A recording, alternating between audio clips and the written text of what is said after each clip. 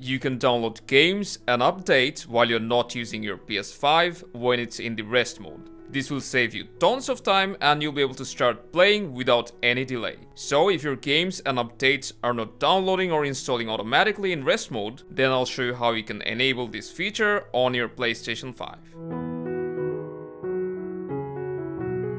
To enable downloads in rest mode, we just need to go to settings, from there go to system, and from system software we will go to system software update and settings.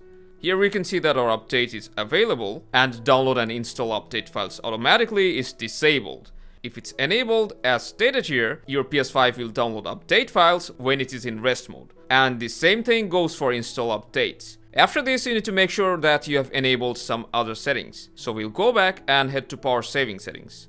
From here, go to features available in rest mode.